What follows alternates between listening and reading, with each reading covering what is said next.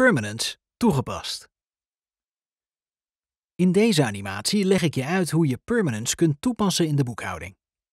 In de animatie Permanence is het begrip en het doel van permanence toegelicht. Bekijk eerst deze animatie voordat je verder gaat. Permanence heeft als doel periodiek inzicht te creëren in de financiële prestaties van de onderneming. Bij toepassing van permanence worden kosten en opbrengsten geboekt in de periode waar ze betrekking op hebben. Twee principes zijn hierbij van belang: het realisatieprincipe en het matchingprincipe. Door de toerekening van kosten en opbrengsten aan de periodes waarop ze betrekking hebben, ontstaat een beter inzicht in het perioderesultaat van de onderneming. In de boekhouding worden transitorische posten gebruikt om kosten en opbrengsten aan de juiste periode toe te kennen. Transitorische posten zijn balansposten die zowel aan de debet als aan de creditzijde van de balans kunnen voorkomen. In het Engels worden transitorische posten accruals genoemd. Door het gebruik van transitorische posten worden betalingen en ontvangsten tijdelijk op de balans geparkeerd tot het moment dat zij op basis van het realisatie- en matchingsprincipe leiden tot resultaten in de resultatenrekening. Kosten en opbrengsten kunnen door het gebruik van transitorische posten worden gerealiseerd in de resultatenrekening voordat de ontvangst of uitgave plaatsvindt.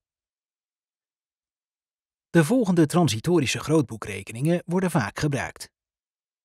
Vooruitbetaalde bedragen, ook vaak vooruitbetaalde kosten genoemd. Vooruit ontvangen bedragen, ook vaak vooruit ontvangen omzet genoemd. Nog te ontvangen bedragen, ook vaak nog te ontvangen omzet genoemd. Nog te betalen bedragen, ook vaak nog te betalen kosten genoemd. Deze transitorische posten zou je als categorieën kunnen zien.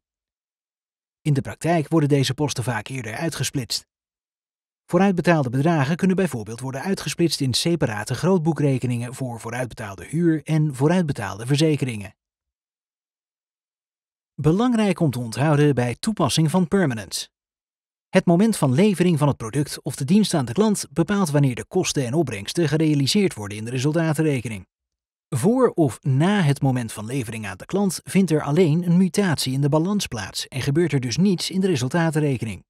Transitorische posten zijn balansposten. Ik herhaal nu de tabel uit de animatie Permanence die schematisch weergeeft in welke gevallen de transitorische posten worden gebruikt.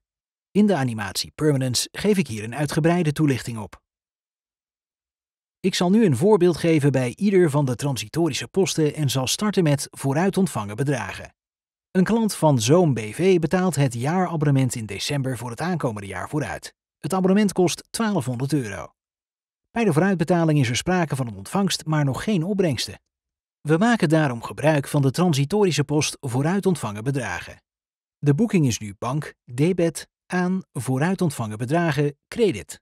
Op dit moment heeft er alleen een balansmutatie plaatsgevonden. Er is dus nog geen omzet gerealiseerd. De balanspost vooruit ontvangen bedragen zou je kunnen zien als omzet in transit. Wanneer de diensten gedurende het jaar aan de klant worden geleverd, worden de opbrengsten gerealiseerd.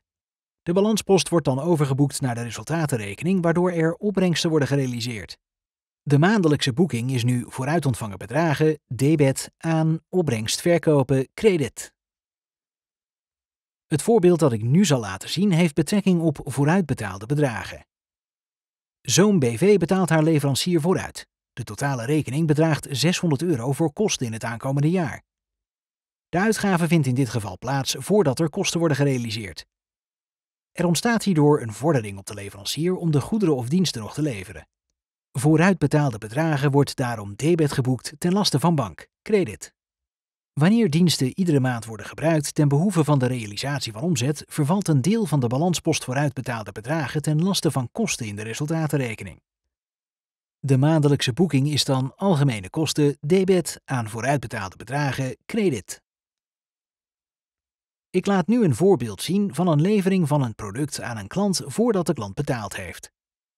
Een klant van Zoom BV betaalt het jaarabonnement van 1200 euro voor het gehele jaar achteraf. Gedurende het jaar worden diensten geleverd aan de klant. Op het moment van levering van de dienst worden opbrengsten gerealiseerd, maar hebben er nog geen ontvangsten plaatsgevonden. Nog te ontvangen bedragen wordt daarom debet geboekt en vertegenwoordigt een vordering op de klant om nog te betalen. Opbrengsten worden credit geboekt. Wanneer de klant in het opvolgende jaar uiteindelijk betaalt, vervalt de transitorische post ten gunste van bank. De journaalpost is nu bank, debet, aan, opbrengst verkopen, credit. Ik laat nu een voorbeeld zien van een betaling van een leverancier achteraf. Zo'n BV betaalt haar leverancier in januari van het opvolgende jaar achteraf. De ingekochte diensten worden gedurende het jaar gebruikt ten behoeve van de dienstverlening aan klanten van het zoom. In dit geval worden kosten gerealiseerd voordat de uitgave heeft plaatsgevonden. De maandelijkse boeking van de kosten is kosten debet aan nog te betalen bedragen credit. Er ontstaat nu een verplichting aan de leverancier aan de creditzijde van de balans via de post nog te betalen bedragen. Dit is een transitpost die vervalt op het moment dat de betaling plaatsvindt. Bij betaling van de leverancier vindt de volgende boeking plaats. Nog te betalen bedragen debet aan bank credit.